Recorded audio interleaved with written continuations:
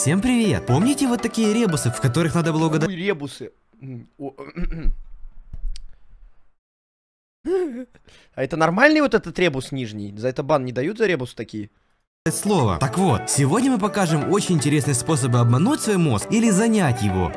Этот дом – это строительная площадка. Его активно достраивают четыре строителя. Ага. Петр, Василий, Дмитрий и Максим. Чувак, ты столько, блядь, просмотров собираешь. Неужели тебе не хватило тысячу рублей лего купить? Вы скажете, эй, тут их всего три, где же делся Максим? Он упал с вот этой платформы и умер. Но тут идет полицейский, замечает всю эту ситуацию и спрашивает по очереди всех, что произошло. Петр говорит, что ничего не видел, так как уже шел на обеденный перерыв за дом. Василий тоже говорит, не в курсе, он работал на крыше в тот момент. А Дмитрий сказал, что был на платформе и у Максима порвалась веревка. Он упал. Полицейский подумал и понял, что кто-то один из них врет. Так вот вопрос, кто же обманщик?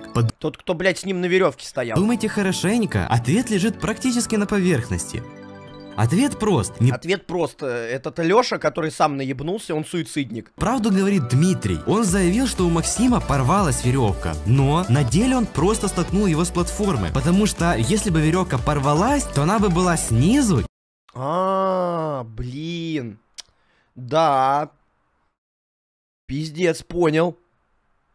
Вот это товарищ следователь сейчас распинал. Что за хуйня? Это нормально вообще? Что это она вообще должна быть снизу, мне интересно. и упала на Максима. Ай-яй-яй, Дмитрий, врать нехорошо. А сейчас нам нужно зеркало. Ставим его в вот такое горизонтальное положение и подносим круглую фигурку. Но она почему-то отображается как квадратная. Чего? Это не монтаж, наш глаз видит то же самое. Подумайте, в чем тут секрет? А секрет в самой фигурке. Нарисуйте на бумаге две параллельных линии и соедините их симметричной кривой, наподобие усиков. Вырезаем это дело. И, сложив пополам, склеиваем скотчем, чтобы получить как бы цилиндр, но с неровными краями. Эти края и заставляют нас видеть иллюзию. Если мы повернем фигурку, то уже мы увидим квадрат, а в зеркале будет круг. Вы когда-то замечали, что закрывая глаза, мозг иногда пририсовывает какие-то узоры в темноте? Так вот, встаньте прямо напротив сильного источника света и поднесите руку к глазам, чтобы изображение заметно затемнилось. Теперь просто начните быстро двигать рукой вперед-назад, и из-за изменения яркости мозг сам дорисует абстрактные узоры перед глазами. Вы будете Бля, что за хуйня, чувак, нахуй? Может, ты фена ёбнешь просто? На- нахуя вообще это делать? Это что за пиздец? Что за говно?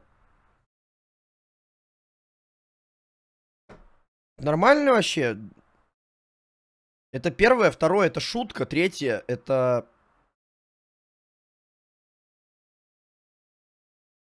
Фу, Я что-то хотел ебануть, погодите.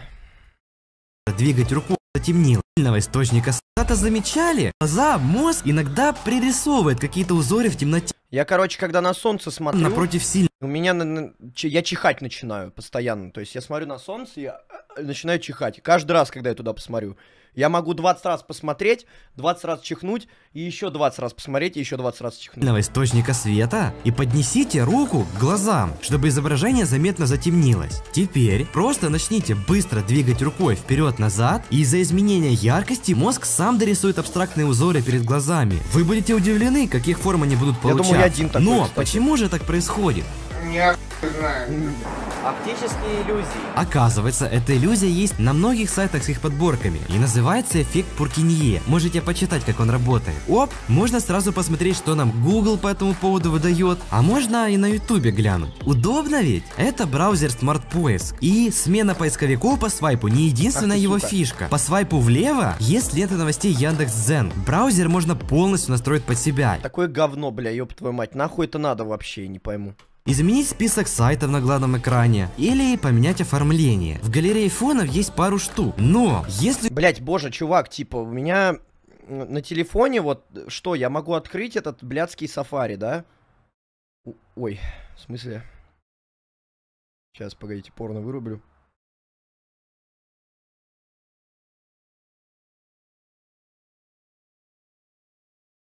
Как все закрыть сразу? Можно вопрос здесь? Сейчас, короче, я все закрою, погодите. О, ебать тут порнухи, алё. Еще ты забываешь, что вкладки нужно закрывать вообще?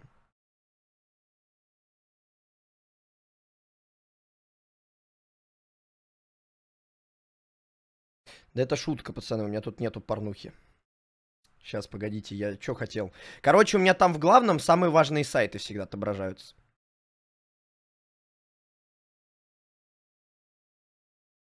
Пиздец, блядь, что ж я так наоткрывал-то? Это за пять лет, блядь, я не понимаю использования.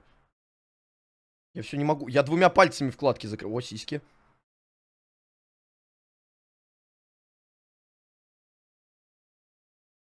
Сейчас, погодьте.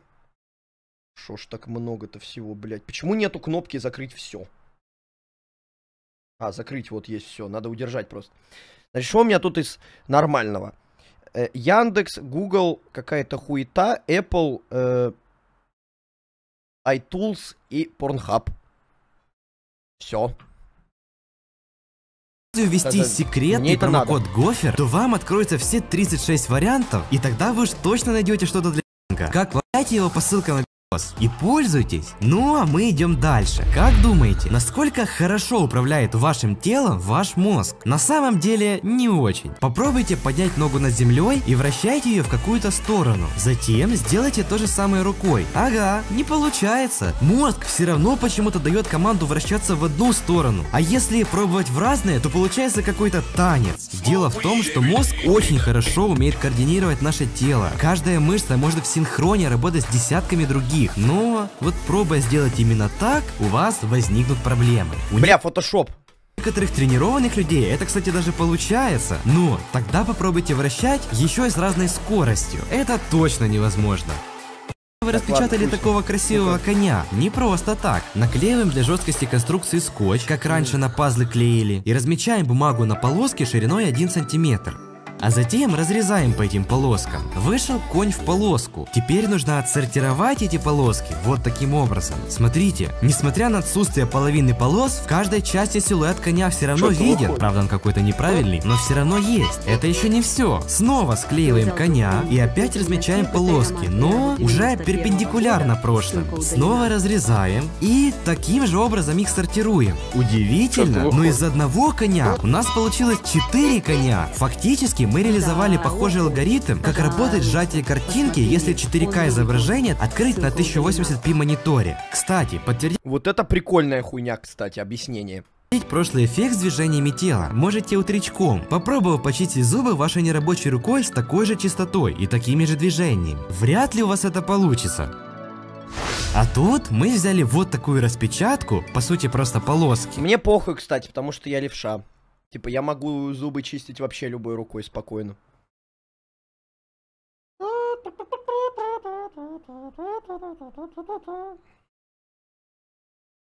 Не, серьезно, типа, мне вообще без разницы, какой рукой зубы чистить. И вырезали белые пропуски ножиком. И если взять специально подготовленное изображение, то оно начинает двигаться. Ставьте лайк, Ебать. если поняли, как это работает. Ну и наконец, самая сложная загадка. Мы думали над ней минут 10. На какой фотографии изображен настоящий Альберт Эйнштейн? Подумайте, в чем загвоздка? умер. Ответ может вас удивить. Видеть мой глаз?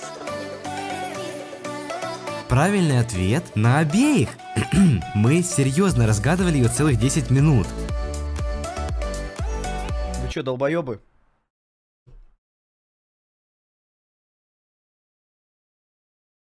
Чем прикол?